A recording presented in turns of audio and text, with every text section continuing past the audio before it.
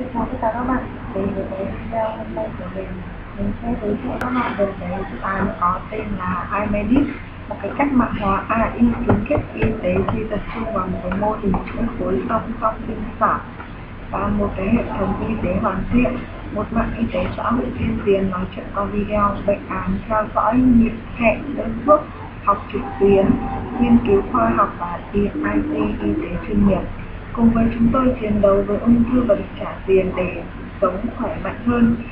với Amedis thì cách mạng hóa ngành y tế đang được thực hiện tại các bệnh viện trên khắp châu Âu và châu Á. Và ở đây thì có người bán hàng trực tuyến chính thức nhận ngay phần thưởng 19% của bạn. Đóng góp tối thiểu là 5 ETH, tiền thưởng thêm là 25% nếu cái mã thông báo được giữ ít nhất trong vòng 12 tháng ở đây bạn có thể thấy cái iStories đánh giá về cái dự án này và tham khảo cái tích trắng của chúng tôi đến thăm với lớp hoặc là đi đến trước bán hàng và để lại email để đăng ký đừng bỏ lỡ những cái thông tin về cái à, bán token của chúng tôi. Và bán trước token đã bắt đầu với cái token để bán là 300 triệu AIM tổng số là 600 triệu AIM giá token bằng 0,12 USD Ờ, và chương trình phát miễn phí thì đã kết thúc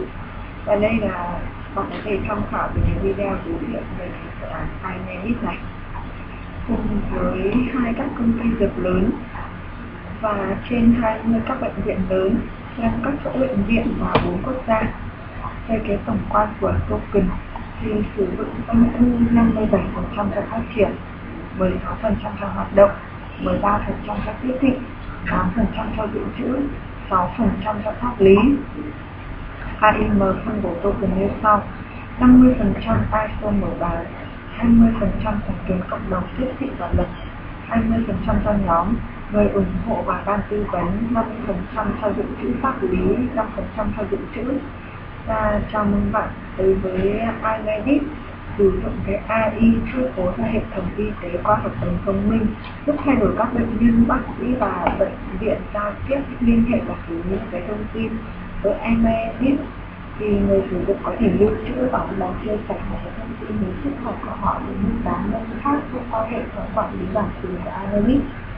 và ngoài báo cáo thì iMedit cung cấp những cái dịch vụ trò chuyện thông qua video liên lạc và các bệnh viện và các bác sĩ khác đơn thuốc trực tuyến lịch hẹn trực tuyến. Nội dung học tập bao gồm cả dụng cụ theo dõi những cái thể lực của ECG hay để theo dõi huyết áp trong đó có tất cả những cái dịch giao dịch của hệ thống đơn dựa trên cái khối chuỗi bản quyền của AIM trên của chúng tôi. Và đây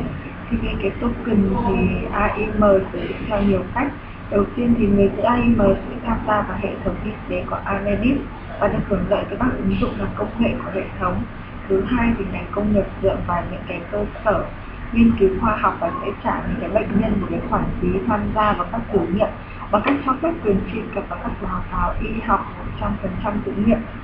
Bước tiếp theo, amedis sẽ ra mắt cái AIM Social nền tảng mang lợi nhuận cho bệnh nhân khi họ giúp đỡ vào các giao tiếp với các bệnh nhân khác, trợ giúp cái công việc lợi nhuận à, có bệnh nhân trên các thế giới.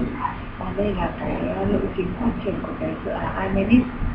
và những cái vụ ảnh ứng dụng của nó. Em xem iMedit một chúng không và bạn có một số hay cảm nhận cùng với đội ngũ của chúng tôi, bác sĩ thực tập sinh và các ca bệnh viện. Imedis và ban điều hành.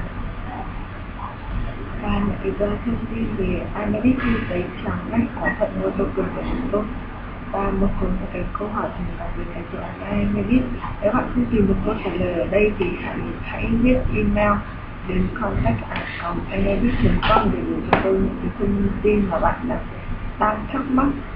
Cùng với cái việc bán chi tiết AIM và quy trình bằng cái token AIM ở đây. Và theo dõi chúng tôi trên các trang mạng xã hội. Facebook, Bitcoin, Telegram, Reddit, Twitter, Instagram, LinkedIn để có thể cập nhật những cái thông tin mới nhất về cái dự án iMedit này? Và cảm ơn các bạn đã theo dõi video. Xin chào và hẹn gặp lại.